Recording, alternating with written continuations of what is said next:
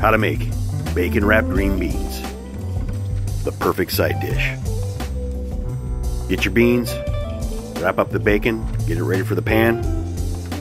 Get out some bacon grease you saved just for this occasion.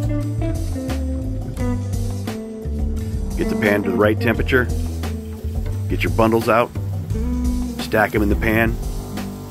Let that bacon goodness soak into those beans.